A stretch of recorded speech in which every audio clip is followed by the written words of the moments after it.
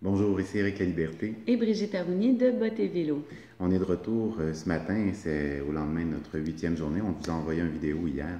On voulait faire un petit retour sur la démarche du pèlerin parce que c'est quand même un, moment important, cette première phase-là qu'on achève, qu'on vient de terminer, la phase de conscientisation. On voulait revenir un petit peu sur cet état-là, les états qu'on traverse pendant ce moment-là.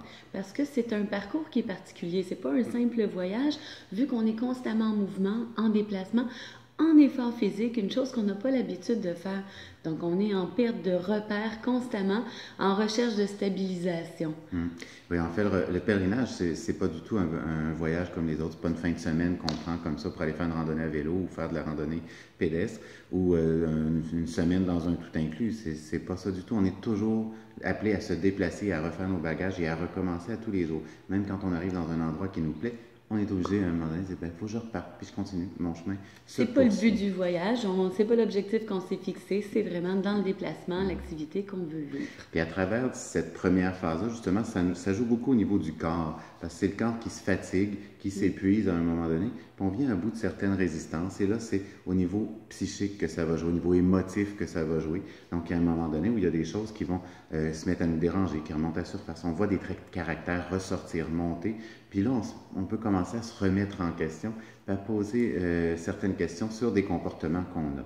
On voit apparaître, en fait, c'est toutes nos craintes, nos peurs, nos inquiétudes qui apparaissent et qui viennent jouer et qui viennent nous tirailler. Et c'est là, comme souvent Eric il va dire, c'est un jeu de franchise envers soi-même pour se dire, ben pourquoi je suis comme ça? Pourquoi j'ai besoin de ça? C'est quoi qui me fait réagir?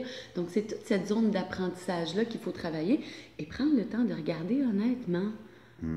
Alors, c'est ça, c'est un moment de vérité avec soi-même dans cette première partie-là.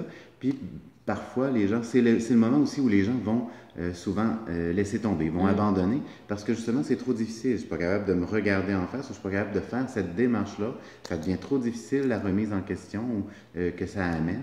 Fait que les gens vont soit abandonner ou vont tout simplement euh, la nier, cette phase-là, de passer à côté, l'éviter et euh, continuer leur voyage tout simplement. Faire un voyage qui sera peut-être pas forcément agréable, plaisant, vont peut-être même se blesser au niveau physique parce que pourront pas être à l'écoute de ce qu'ils ont besoin ou admettre qu'ils ont des limites à respecter et qu'ils ne le font pas.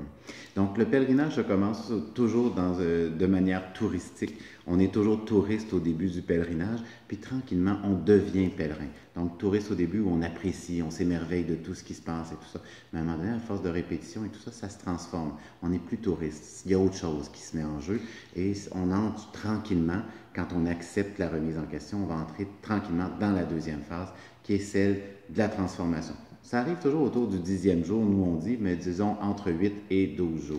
Un moment où on accepte de vivre avec les nouveaux paramètres, avec la nouvelle réalité, puis d'arrêter de forcer les choses.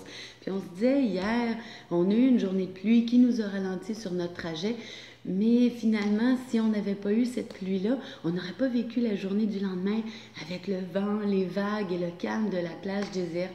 C'est sûr que s'il avait fait beau, la plage aurait été animée, dynamique, on aurait aimé ça aussi. Et c'est ça qui fait le charme du mm-hmm. voyage. C'est de lâcher, d'arrêter, d'avoir des attentes constamment et de mm-hmm. vouloir tout contrôler. Mm-hmm. Donc, euh... c'est ce qui fait qu'on se retrouve aujourd'hui euh, dans cette petite auberge-là. Ici, une auberge de jeunesse dont on ne connaissait pas l'existence. On pensait qu'il y avait seulement une auberge de jeunesse dans tout l'île du Prince-Édouard. Et on se retrouve ici à Brackley Beach, dans un bel auberge de jeunesse. Oui, C'est ça, une vieille ferme qui a été réaménagée.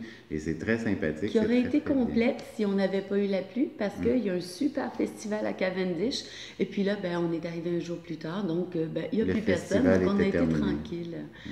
Oui. On vous laisse avec euh, les images de la journée d'hier. Une, une, période pour pédaler sur une piste cyclable asphaltée, très important à noter, ça c'est agréable, et une bande de plage qu'on a longée avec les dunes de sable, c'était de toute beauté. Alors on vous laisse regarder ça. À bientôt. À bientôt.